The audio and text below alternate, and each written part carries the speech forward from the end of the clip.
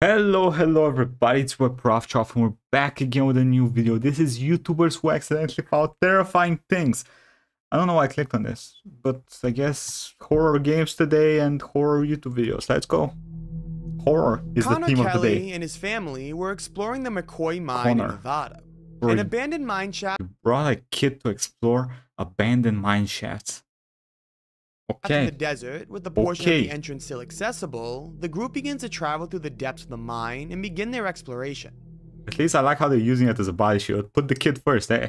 Anything bad happens, The you can always make another was kid. very large, with a few artifacts still present from when it was functional years ago. Alright? The group stays quiet as they don't want to risk the sound dislodging any rocks from the ceiling. However, it's not long By the way, kid in the group, Long before they approach Just saying. something that demands discussion. which is...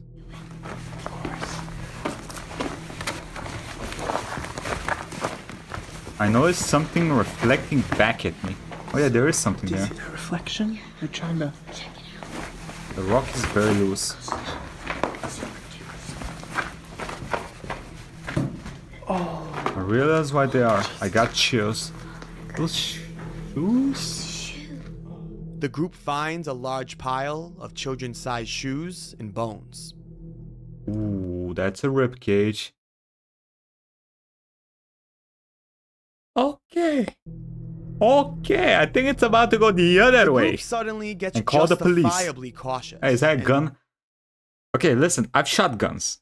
I've shot guns in close space with ear protection. One thing I can tell you is that, and from what I've read about past wars that are in mine shafts and stuff like that, you don't want to shoot a gun in a place like this without your protection. Now, it's better to have a gun than not have a gun if something attacks you.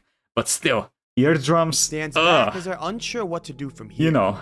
One member of the group even pulls a gun, fearing for nearby predators deeper in the cave. Okay, that's. or quite I don't think those are the predators even they're worried about. Human. After a brief discussion and inspecting the pile of shoes a little closer, the group advances a little bit further, where a dead end is Wha- found. Why would you advance further? Okay, listen, this could all be fake. Let's be honest. Nowadays, like half the shit's probably fake on the internet. But if this is a real situation, I imagine the best thing to do is get out of the cave immediately, call the police, be like, hey, uh, we found bones and kids' shoes. Something's happening. Fuckery's around. and the floor is Help. scattered with more bones. Oh, man, Further those look investigation animal from viewers bones. of the video mentioned that the bones don't appear to be human. Hmm. It's more likely that these bones were a result of animal carcasses from predators such as mountain lions who might have feasted on their food within the cave. Hmm. The children's shoes, however, are a completely different story. Well, There is no if there is a town nearby, a lot of listen, animals are assholes. They yoink shit. Like raccoons steal shit. The foxes they yoink shit. Cats, uh, they're smaller. They don't really do that. But it could be an animal just yoinking shoes. Why would they do it? I don't know. Animals are dumb as hell, so they do stuff. definite explanation for this, and I don't think there ever will be. However, the leading theory is that these were trophies collected from a serial killer. Collecting items I highly doubt it's a that that is a lot of shoes. If somebody killed that many children, somebody would notice. I hope. God damn, I from hope. victims isn't unheard of, with a very famous legend in Michigan claiming that a mysterious tree dangling children's shoes was also decorated by a serial killer. If you look at the shoes, they also appeared to be tethered differently.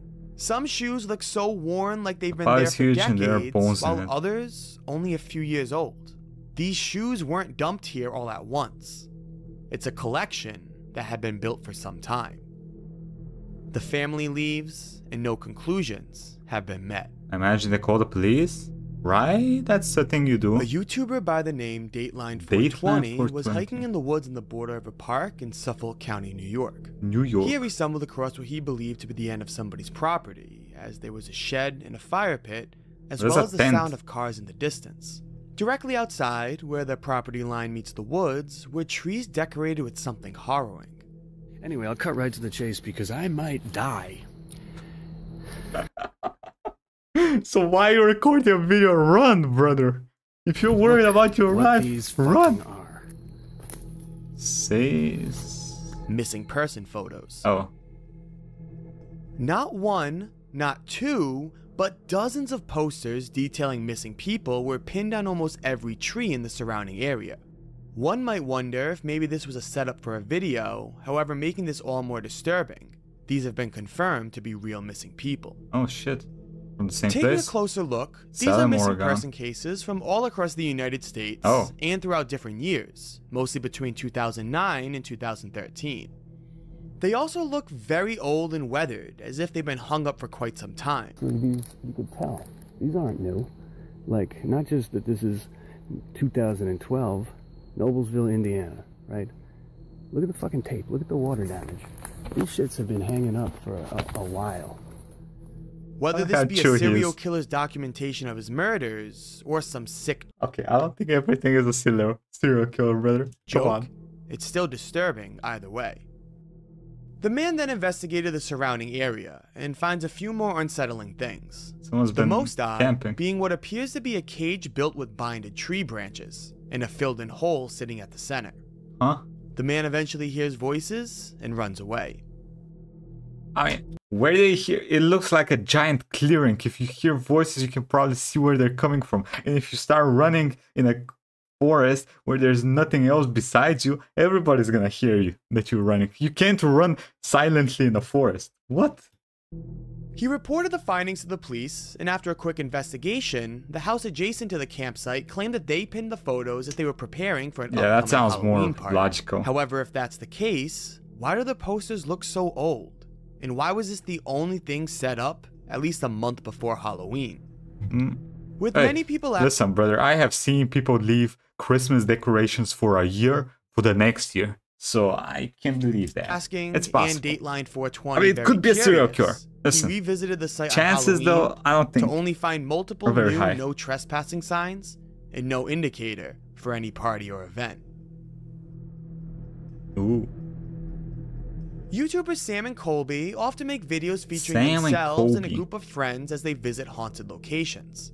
I say this with no disrespect, as I think it makes for a more interesting story. However, their content is very suited to the seemingly staged side of YouTube horror. Ah. It seems like every abandoned place they go to has some paranormal occurrence, Ghosts. and it's hard to imagine that at least some of these aren't staged. Again, I mean, I want to reiterate, they are very entertaining, and they deserve the success for the production they put in. However, one night, they witnessed one of the most terrifying horrors. god damn, homie's got a long ass neck. and they didn't even realize it. Huh? In a video titled Exploring Abandoned Insane Asylum, Girl, Girl Screams, Screams. Sam and Scary. Colby, as well as fellow YouTubers The Ireland Boys, The visited an abandoned Boys. asylum hidden in a nearby forest. Why are they running? Typical to the format they have on many videos, they explore the abandoned building and swear someone was there with them. Bro, with some of these old ass buildings, are these people now worried that something might fucking collapse? Like this building ha- probably hasn't been touched in like 50 years. I literally think there was something downstairs. Whatever thing that you heard earlier. I think that's basically all there is there, though, to explore. It's just a bunch of rooms. Well, then let's go Just and figure out what's downstairs before it comes up and finds us. They act nervous and walk around cautiously. However, as they're exploring more, they hear police sirens coming from the distance.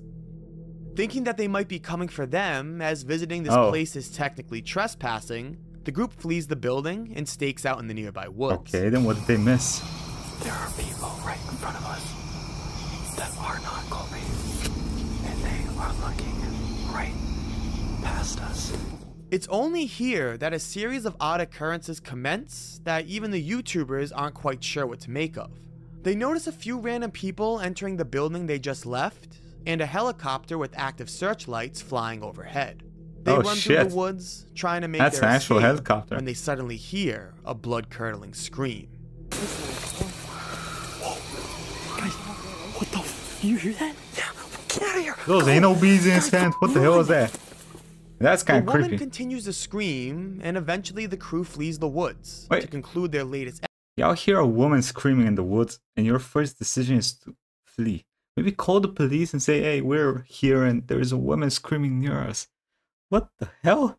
I mean, I know this might be, as, as you said, this whole thing might be staged. episode of exploring creepy like, abandoned come on, brother. What if it's an After actual. this night, something is happening. Video, viewers would begin to get curious and investigate what might have happened that night. And a few weeks later, they would find out that yes, It was Something true. happened? This was most oh, definitely not a planned bit by Sam and Cole. Alright.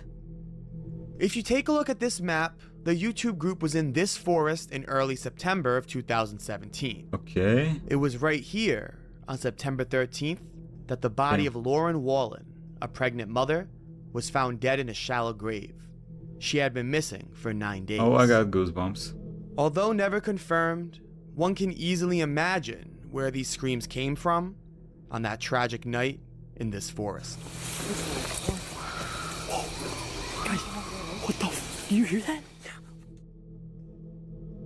Adventures with Purpose is a YouTube channel Yeah, so I mean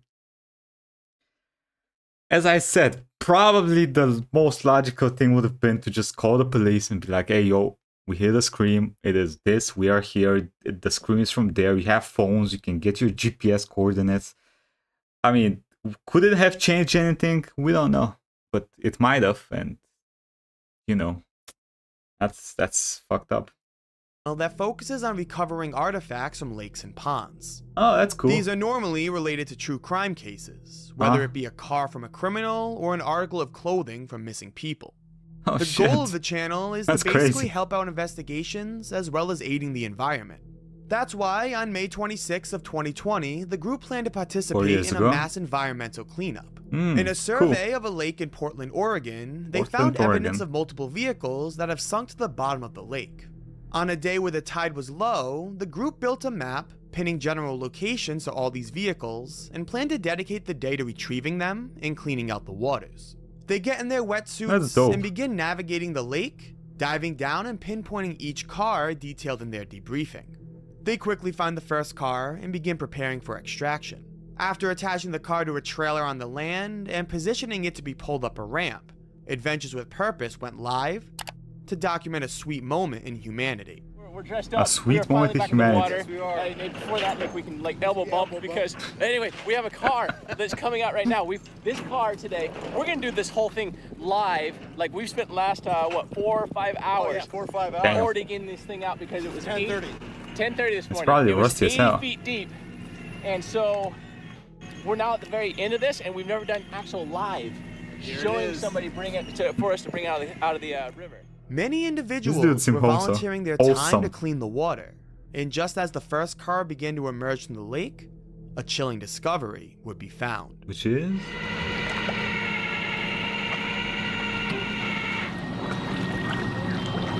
If they find a body inside, that would be crazy. There it is. Alright, let's clean it out. What is it? There's a shoe in there. Whoa, whoa, whoa, whoa, whoa, whoa, whoa, whoa, whoa, whoa, whoa, whoa, whoa! Call the cops! Call the cops! Call the cops! It's a body, A isn't it? decomposed body and Brother. bones were sitting That's crazy. That's crazy. in the front seat. I mean, the it could have been a driving called, accident. Investigation found that this Timothy body belonged Robinson. to Timothy Robinson, a man who went missing on November 27th of 2008, Damn. 12 years before this discovery was made. 12 years missing. The family was notified and were relieved to finally have some closure. Asking for Newton Robinson, well, it's been 12 years since he became missing. This is dad's brother. My dad's brother, my uncle. I wanted to personally thank you for bringing closure to this family. It's been a long time. I can finally put to rest. Thank you. God bless. After so many years. Damn. We don't know. Exploring with Josh, What exactly YouTuber happened? a variety of places, once found So I assume it was an ex- the neck incident. of a giant underground cave. Probably. It's This a- cave in Washington Yeah, County is named the. Ape Cave and stretches Ape? almost 2.5 miles long. Damn. Although deep, ass the cave. cave is rather open with plenty of room for exploring and walking around. Cool. There's little risk of getting stuck, and it's typically welcoming to amateur spelunkers. Josh and his friends found this encouraging. Spelunkers? Encouraging, however, weren't afraid of taking a little risk to reach less explored sectors of the cave.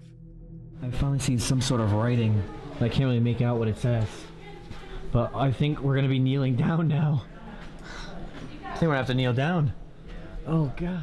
The majority of the 12 minute vlog just features the crew having fun. They Alright. begin to walk down a corridor that continuously gets smaller and smaller before each are on their stomachs, inching through the narrow tunnel they found themselves in. They continue to question if they should continue, wondering if there's any more to explore as the tunnel gets rather I'll be honest with you. If I was at that point, I would be like, fuck this shit. I'm, I'm not claustrophobic, but like tight spaces in a cave. I don't know, brother. I don't even know if this leads out anywhere. I think it's just the end. We can be crawling all day. Let's find out. They The even end. reach a point end where to they were about to turn back. However, Josh luckily noticed that the tunnel opened up. The crew Oh, squeezed brother. through and successfully reached the end of the cave. What they didn't know was that somebody was waiting for them at the end. Okay. Um, got it. Can I head back now? This girl doesn't have a flashlight. Oh, they found a girl?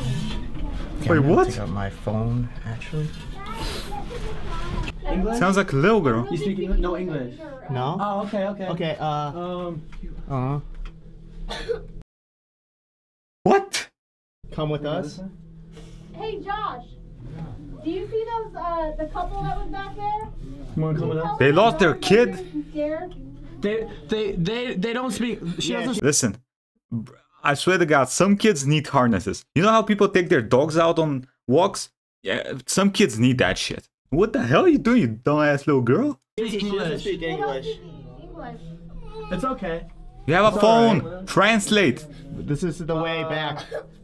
What an experience. As we were about to leave, this little girl That's comes crazy. up out of nowhere, scares us, and at first we're like, wait, whose parents are hers? And she, there, she was just there alone by herself. Then she just sits there in the back, so I started talking to her, but she wouldn't answer me. And I was like, wait a minute. I don't think she speaks English. It turns out she really didn't speak English at all. She's by herself, crawled the whole way in there by herself, no light. No I swear to God, kids are the dumbest creatures on the planet. light. What the heck? I don't get it. No What light. the hell are you doing, you little She girl? didn't even speak English. Inside one of the deepest sectors of the ape cave That's was a little girl, noticeably terrified and cautious. Yeah, I wonder why. There's The like 15 dudes pointing cameras at her and be like, hey, you, you little girl, in foreign language. tried to language. console her. However, she was clearly I mean, it's good they for found her her. life, as she didn't want to approach the strangers in the isolated cave. Yeah, Turns out the only good thing she's done, the only smart thing she's done all day, probably. out that this girl was missing. Ran into missing? the ape cave and crawled to the end of one of its deep Wait, she, they didn't even lose her in the cave. She went into the cave, then decided to go into the deepest part of the cave with no flashlight. Brother, she's got bigger balls than most people, but brain kind of empty. deepest tunnels. The girl was stranded, alone in the dark, and looking at this angle of the only entrance to her location, I wonder if she would ever have been found, if not for this group. She was let out and thankfully reunited with her family. That's good. God damn. Yeah, we, well, some yeah, some terrifying things were in this video, some very stupid things were in this video, some things that we just cannot explain. Anyway, let me know what y'all think. and I'll see y'all next time, okay? Bye everybody. Have a nice day.